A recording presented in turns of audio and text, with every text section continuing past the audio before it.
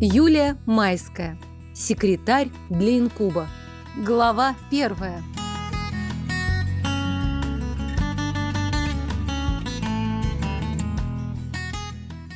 Извините, вы нам не подходите.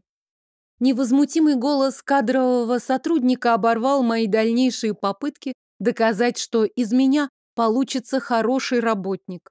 Я остановилась на полусловии и кивнула. Быстро собрала со стола свои документы, которые последние 15 минут демонстрировала этой суровой женщине с пучком седых волос. Руки дрожали, поэтому я очень торопилась, чтобы она ничего не заметила. Хотя она так гипнотизирует меня взглядом, что моя попытка показать свое равнодушие, похоже, провалилась. Да и все равно. Какая мне разница, если я ее больше не увижу? Поднялась со стула, поправила очки, запихнула все бумаги в сумку и вышла. Держалась до выхода из здания, но на улице все равно накатили слезы. Уже пятнадцатый отказ в работе за месяц. Деньги почти закончились. И что делать дальше, я не знала. Хотя для начала следует успокоиться и прийти в себя. Медленно спустилась по ступенькам и прошла через дорогу в парк. Быстро направилась по дорожке, а когда зашла подальше, шустро оглянулась. Никто не смотрел, потому я стянула туфли и носочки, подняла их и побежала прямо по газону вглубь парка. Нашла местечко подальше от дорожек и присела на корточки. Здесь трава не росла, потому я просто зарылась пальцами в рыхлую землю, успокаиваясь. Стихия всегда помогала. Да и что такого страшного случилось? Ну, отказали мне в очередной раз. Ну, кончаются деньги. Займу пока у Лекси. Моя любимая подруга, к счастью, удачно устроилась чуть ли не в первый день по приезде в этот город. В нашей-то деревне точно не разживешься работой. Вокруг одни фермы, а мы хотели добиться большего. Вот и махнули в крупный мегаполис в четырех днях пути от родителей. Мы были уверены, что в таком большом городе точно без работы не останемся. И действительно, Лекси устроилась сразу помощником в отдел магического сотрудничества. А я? Лекси пыталась устроить меня у себя, но у нее не вышло. Ничего. Кому-то же все-таки пригодится почти слепой кротик. В крайнем случае пойду в добычу ископаемых. Там кротов всегда с руками и ногами отрывают. Другое дело, что я не хочу, но... Главное, выход есть на крайний случай. Самый-самый крайний. Так что мы еще поборемся. Когда я пришла домой, Лекси уже вовсю носилась по квартире. Кажется, она одновременно что-то готовила на кухне, пылесосила и набирала текст на компьютере. «О, Нари, наконец-то!» Подруга схватила меня за локоть и втащила на середину прихожей. «Лекси, запачкай уже!» – возмутилась я. «Да ерунда, уберу. Ты лучше скажи, куда я дела кориандр? Я нигде не могу его найти!» Я усмехнулась. Лекси, как и все белки, обожала делать запасы. Но куда конкретно она что-то прятала, просто вылетало у нее из головы. «По-моему, я видела его рядом с мукой», — ответила я, стараясь не рассмеяться. «Хм, а зачем я его туда положила? А, ладно, главное, найден». И она унеслась на кухню, видимо, добавлять специю в блюдо. Я успела снять обувь и пройти в спальню, когда вихрь по имени Лекси налетел на меня снова. «Тебя же приняли, да? Скажи, что приняли!» Подруга схватила меня за руку и начала вертеть в разные стороны. Нет, не приняли. Я освободила конечности и сама обхватила Лекси за плечи. С ее неуемной энергией было всегда сложно сладить. «Вот же луковые жуки!» «Не ругайся!» Я улыбнулась. «Да как не ругаться, если они не берут такого хорошего специалиста, как ты? Ну, тут специалистов пруд-пруди, а кротов особо не любят, ты же знаешь. Это верно. Она поникла на секунду, но затем снова встрепенулась. Слушай, а у нас вакансия открылась, но очень сложная. Секретарем главы корпорации. Он инкуб, и у него несколько специфические требования к кандидату на должность. Но я думаю, ты подойдешь. Я осторожно убрала руки с ее плеч. Нет, нет и нет. Хм, инкуб? Слушай, как-то не хочется иметь с ним дело. С Лекси в такие моменты надо общаться очень деликатно. Если сразу откажу, она меня точно поколотит, свяжет, а потом потащит мое несопротивляющееся тело в корпорацию. Устраивать подругу к инкубу. Нет уж. Даже не думай отказываться. Я тебе точно говорю, ты подойдешь. Она в возбуждении начала бродить вокруг меня, и мне пришлось поворачиваться всем корпусом, чтобы нормально продолжить диалог. Там требования, конечно, странные, но нет никаких ограничений по ипостаси и прочей чепухи. Кстати, требуется маг земли, а у тебя с этим очень неплохо. Ну, подумаешь, инкуб. Лезть к тебе он точно не будет. Там требуется низенькая, полненькая девушка, желательно непривлекательная. Я начала закипать, а она покосилась на меня неуверенно. Нет, я не говорю, что ты непривлекательная. У всех же вкус разный. Я считаю тебя очень симпатичной и миленькой, но суть в том, что ты как раз низенькая и полненькая. Нари, это же просто судьба. В чем-то Лекси была права. Под современные эталоны красоты я не очень подходила. Точнее, совсем не подходила. Как и все кроты, я была невысокой и чуть полноватой. Носила очки из-за плохого зрения. Меня и мужчина-то не замечали вовсе, только если кроты в родной деревне, но тут уж я не хотела связывать судьбу с кротом. Да и вообще, с кем-либо. Уж лучше построить карьеру, открыть свое дело. Какое конкретно, я еще не придумала, но была уверена, что в таком крупном мегаполисе у меня все получится. Может быть, это действительно шанс?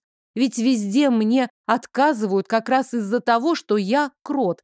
И все-таки Лекси, но он инкуб. Ты же знаешь, они... Нари! Она сжала обе мои ладони в своих руках и посмотрела в глаза. У нее редко были такие моменты абсолютной серьезности, потому я прониклась и замолчала. Вот ты крот, и никто не хочет иметь с тобой дело. Что за расовые предрассудки с твоей стороны?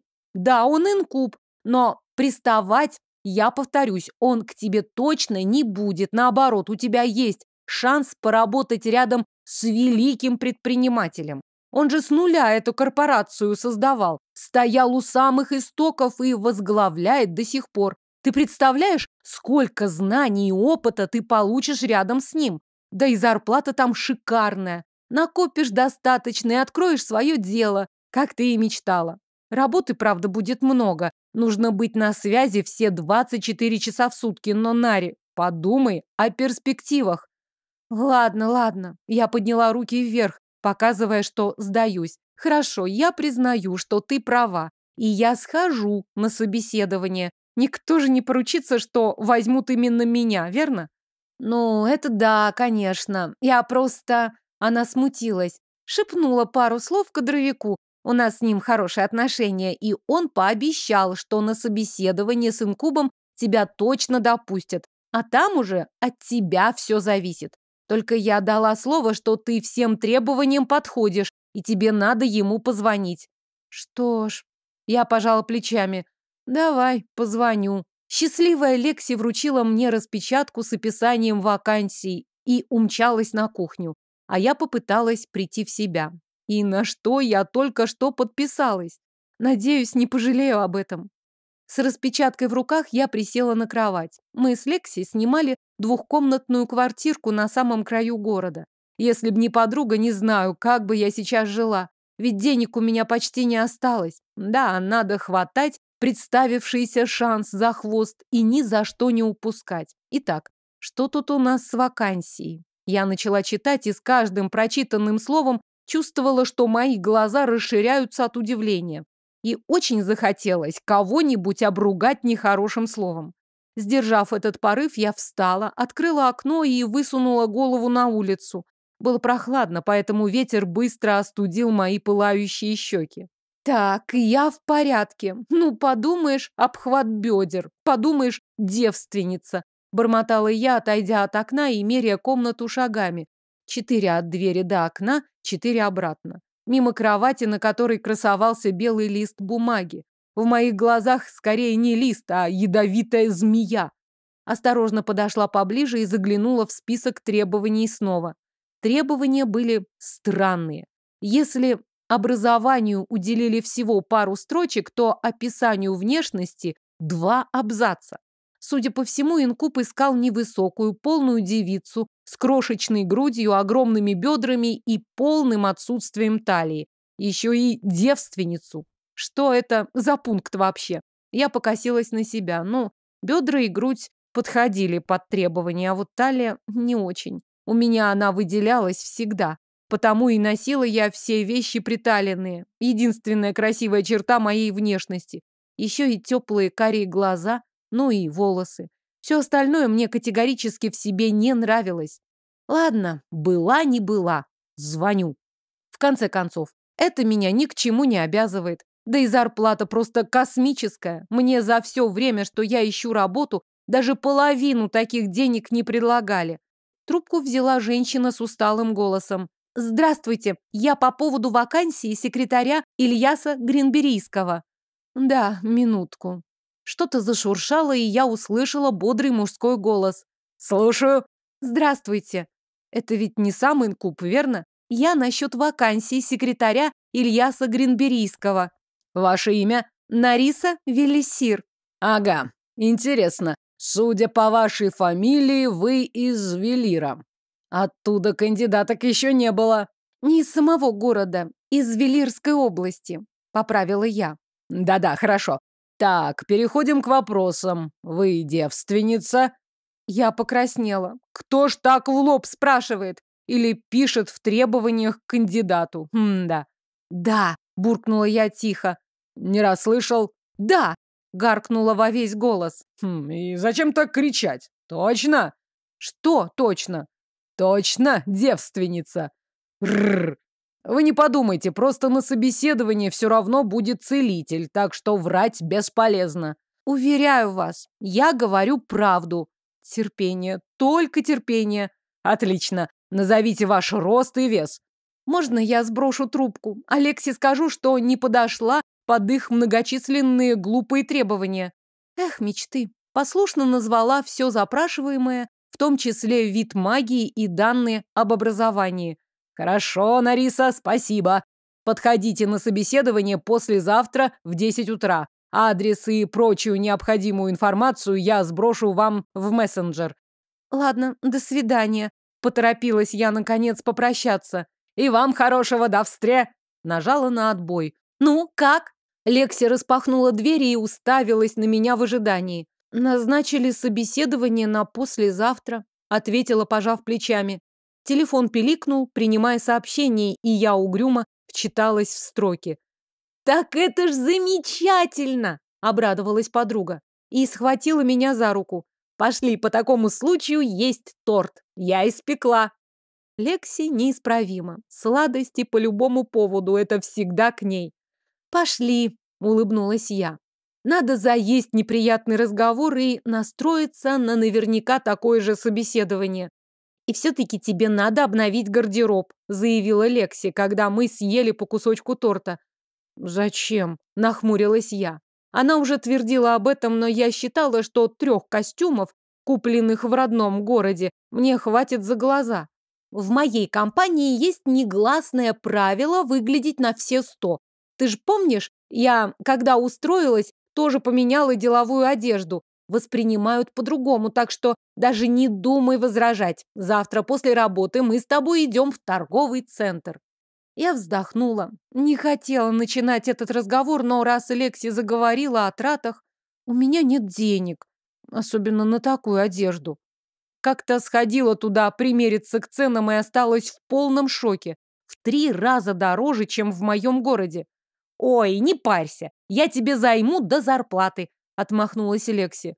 «Ты так уверена, что меня возьмут?» «Белкина интуиция!» — засмеялась она.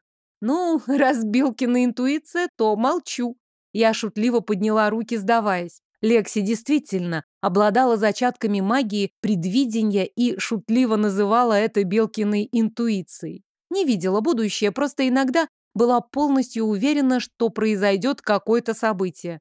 Но верить ей я не спешила. Будущее может меняться в зависимости от решений, которые мы принимаем сейчас. Так она была уверена, что я останусь в родном городе, поскольку не смогу сбежать из дома. Даже сказала об этом мне, и я поверила, хоть и не смирилась. И чисто случайно проверила комнату на ограничители магии. Все кроты живут под землей, и чтобы защитить жилище, окружают свои комнаты специальными пластинами с ограничителем магии, так что сделать подкоп с любой стороны невозможно. Всю жизнь я жила в полной уверенности, что окружена такими, и только тогда, когда меня заперли, чтобы не сбежала в мегаполис, почему-то решила проверить. Оказалось, пластины действительно есть, только вот в углу комнаты образовалась дыра. То ли у кротов-строителей закончились пластины, и они поленились заказать новые, то ли забыли положить в том месте, но ограничительной магии не было примерно в квадрате земли сантиметров 50 на 50. Какое-то время я сомневалась, считая, что банально не пролезу, а потом плюнула и решила попробовать. И пролезла. Магией земли, вернув все как было. Кроту, обладающему такой магией, копать очень легко. Земля сама расходится перед ним, а потом возвращается на место. Я любила свою магию, но стать фермером не, не хочу. Потому и сбежала. Не то чтобы родители сильно расстроились, не получилось задержать непутевую дочь, ну и ладно. Потыкается в большом городе, разочаруется и вернется. А они пока жениха подыщут. Бррр, вот еще. Не возвращаться, не выходить замуж я не стремилась.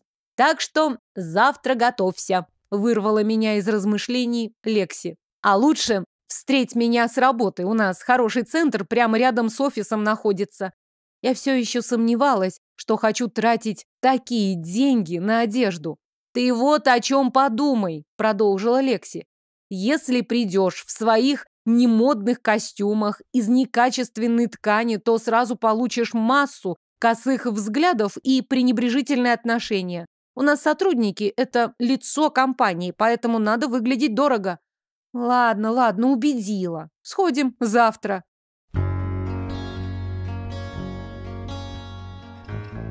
Глава вторая.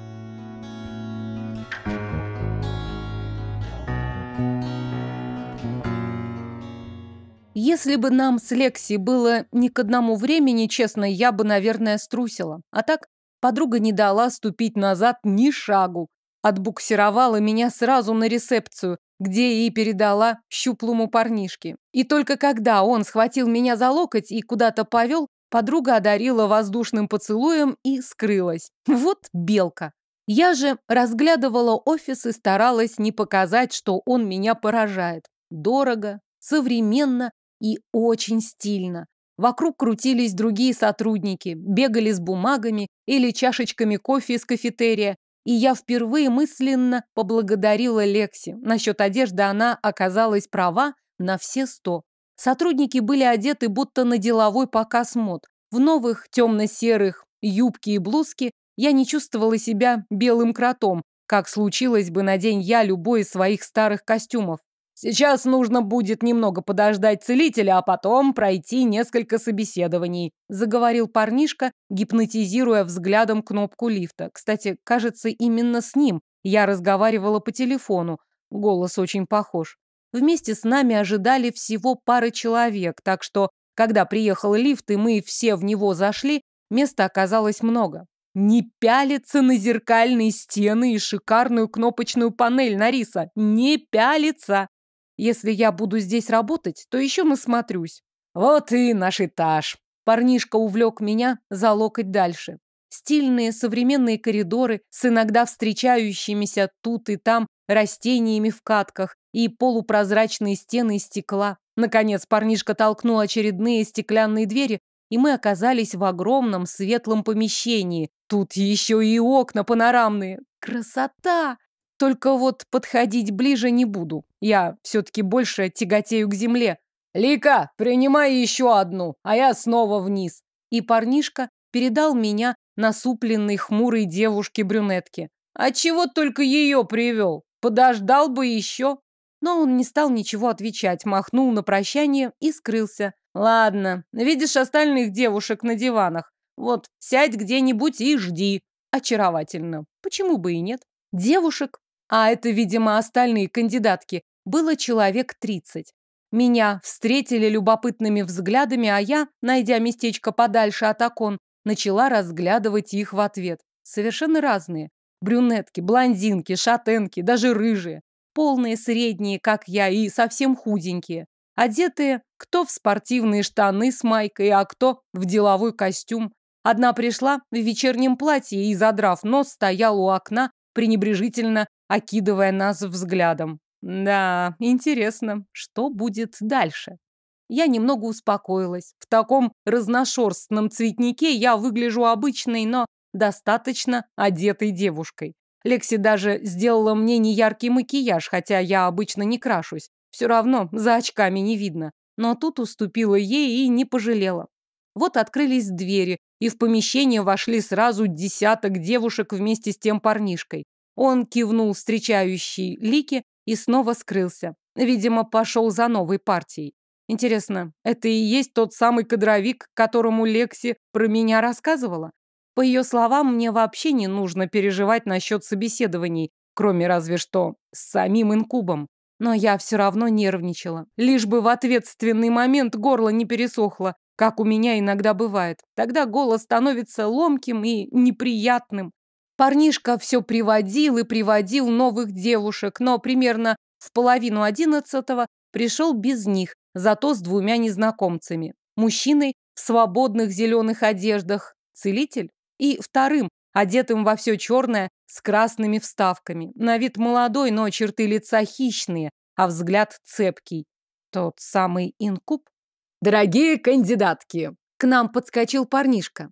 Меня, кто не знает, зовут Керрис. Сейчас проходите по одной к Шеру Амбрикусу. Он указал на целителя. Давайте, давайте, не стойте. Девушки неуверенно начали вставать в очередь. Я вовремя подскочила и заняла место примерно в середине. Вообще целитель осматривал быстро. Стоило подойти к нему, он проводил ладонью по воздуху возле живота и чуть ниже, а потом отпускал. Вот кислые жуки, он же невинность проверяет. Дошло до меня. Подтверждении моих мыслей на одной из девушек целитель задержался, а потом мотнул головой. Керрис тут же подскочил к ней и взял за локоть. «Я ж предупреждал. Пошли, в стороне подождешь, а потом проведу вниз». «Но...» — хотела возмутиться она, однако ее увлекли сначала к дверям, а потом Лика и вовсе ее вывела. Так поступили еще с пятью девушками. Я смотрела на происходящее широко открытыми от удивления глазами, но в какой-то момент наткнулась взглядом на инкуба. Он явно развлекался, с удовольствием рассматривал самых красивых и стройных из нас и иногда стрелял глазами на Лику. Бррр. Взгляд у него сальный, противный. Если работать придется у него, то я лучше что-нибудь другое поищу. Наконец очередь дошла до меня, и хотя я была в себе уверена, все равно затаила дыхание при проверке целителя, но все в порядке. Тот кивнул, и я отошла в сторону. Наконец Шер Амбрикус с нами закончил и ушел. Керрис распределил оставшихся девушек по диванам, наказал сидеть и ничего не делать, и, кажется, очередь дошла до инкуба.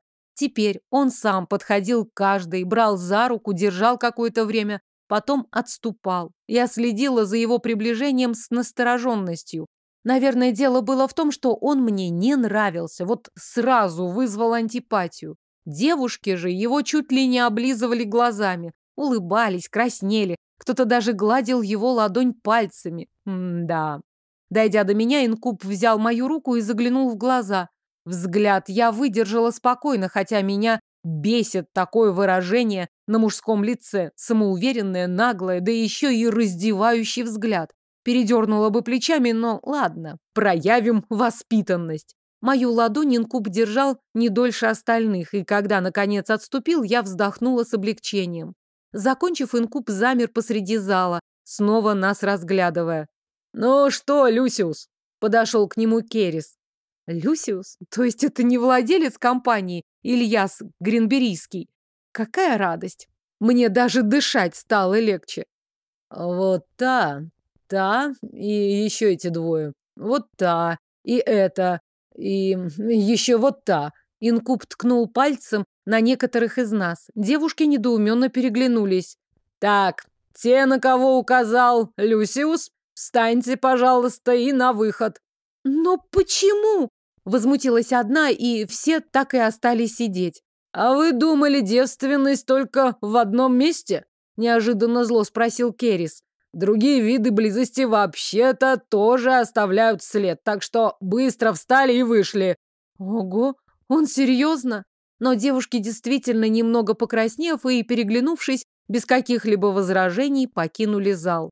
Я сидела в прострации, размышляя о произошедшем, но Керрис объявил, что теперь время собеседований. «По десять человек, пожалуйста, соберитесь, остальные ждут здесь».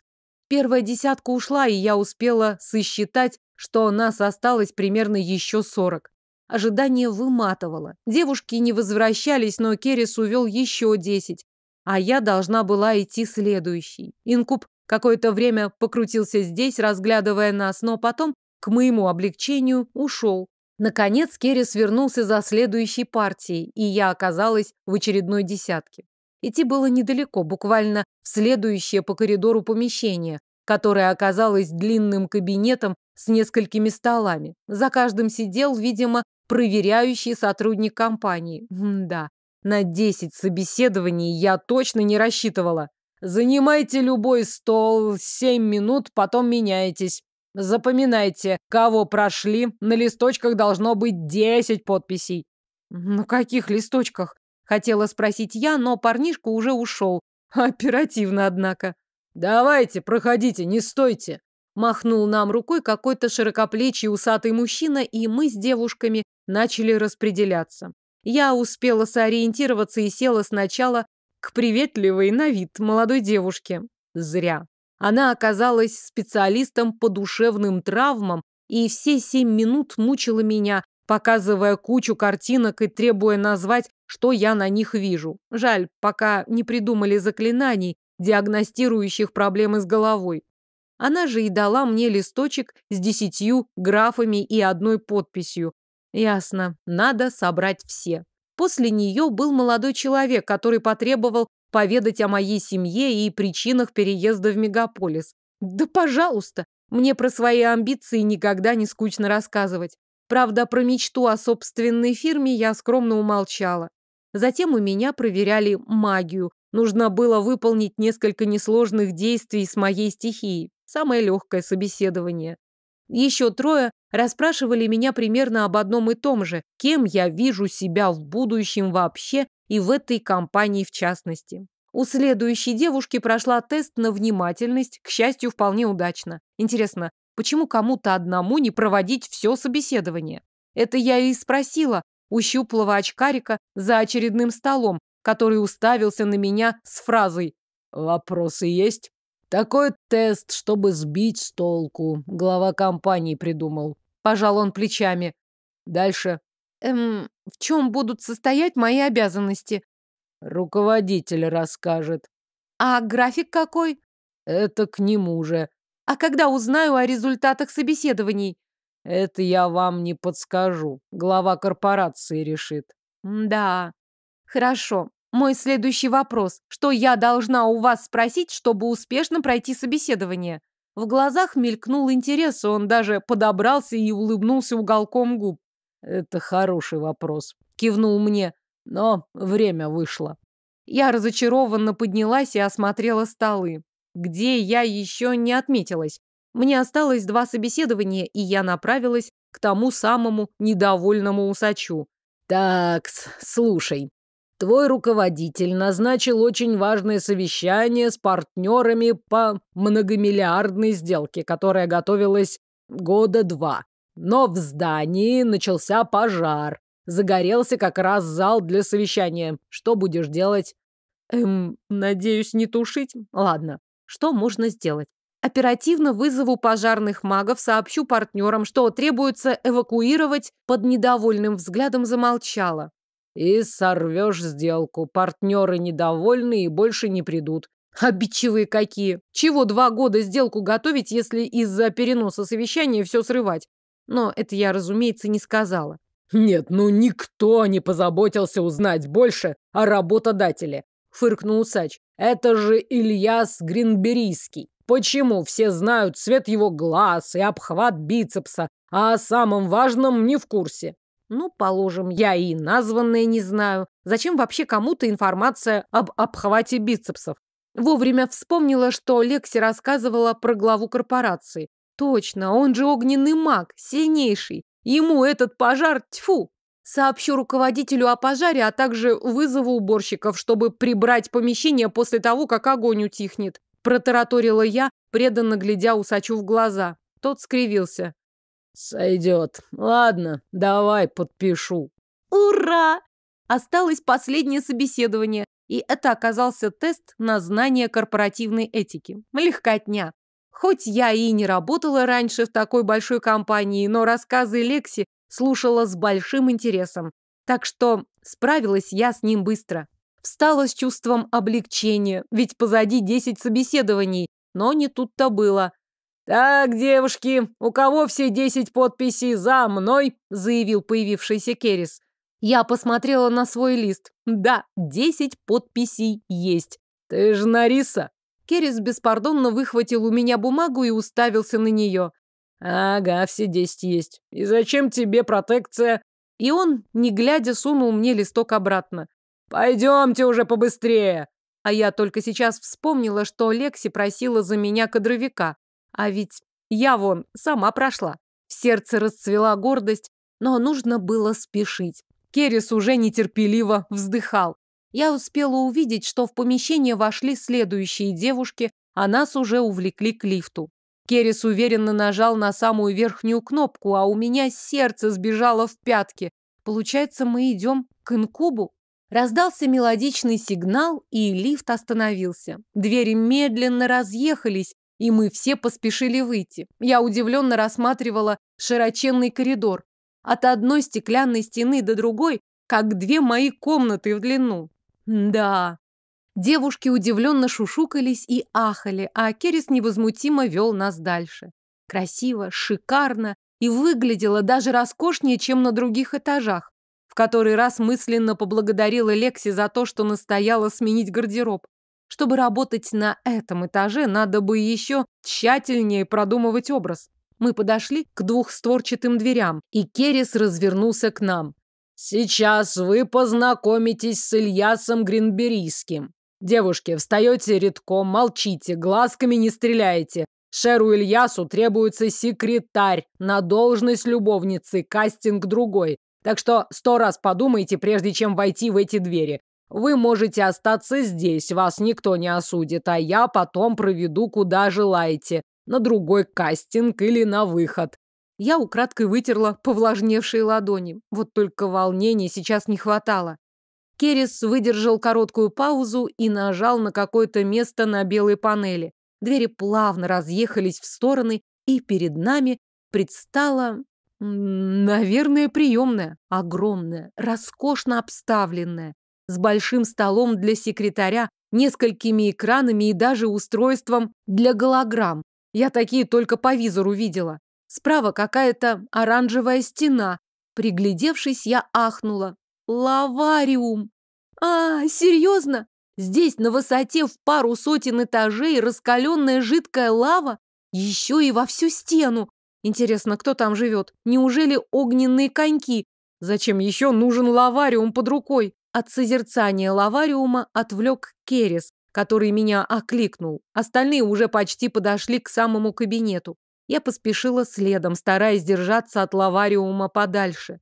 Снова отъезжающая в сторону двери, мы гуськом заходим в кабинет. Меньше, чем приемная, но по роскоши, конечно, не уступает. Я успела увидеть широкий рабочий стол, темную мужскую фигуру за ним, но сразу опустила глаза вниз и уставилась на красивый тонкий ковер, весь в языках пламени. Чудесная работа. Так и хочется поизучать поближе рисунок. Послышался скрип стула, и я замерла. Инкуб подходил ближе. Я успела удивиться, что Керрис ничего не сказал, даже не поприветствовал, как вспомнила. Мы же не первая партия кандидаток. Должно быть, он уже устал от этого кастинга. Нет, Раздался вдруг жесткий голос, и я невольно подняла глаза. Илья с отвращением смотрел на одну из девушек. та бледнела на глазах. Керис вдруг схватил ее за руку и оттащил подальше, а инкуб переключил свое внимание на следующую. Мороз по коже от его взгляда. «Нет». Тот же замораживающий тон, и я сглотнула от волнения. Еще два шага, и инкуб остановился совсем рядом, глядя на мою соседку. Смотрел долго, разглядывал и вдруг произнес. «Сходите в отдел магической защиты и принесите образцы артефактов которые они должны были подготовить. «Я?» — округлила глаза девушка. «Э, да. А, а где он находится? И какие артефакты?» Инкуб скривился, будто лимон съел, и перевел взгляд на меня. А я вдруг поняла, что ему нужно. Безукоризненное подчинение и отсутствие уточняющих вопросов. По крайней мере, если бы я искала работников в свою воображаемую фирму, я бы хотела именно такого человека. «Сделайте мне кофе». Не сразу поняла, что адресовано это мне, но поторопилась ответить. «Конечно, Шер Ильяс». И развернулась к выходу. Мои шаги гулко отдавались в полной тишине, а потом дверь плавно за мной закрылась. «Мамочки, а вдруг я ошиблась? Вдруг он ждет не этого?» Но отступать было поздно. Где тут кофейный автомат? К моей радости он был установлен прямо в приемной. К огромному сожалению, возле лавариума. Ладно, я сильная, смелая, будущая великая предпринимательница. Что мне какие-то несчастные, запертые за стеклом огненные коньки?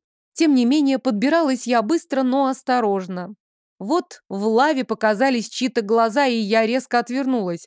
Надо поспешить, вдруг Ильяс время засекает за сколько я должна принести ему кофе. Внезапно из кабинета быстрым шагом вышла девушка. На ее лице явно была написана паника. «Мне надо сделать копии». Она помахала бумагами, которые держала в руках.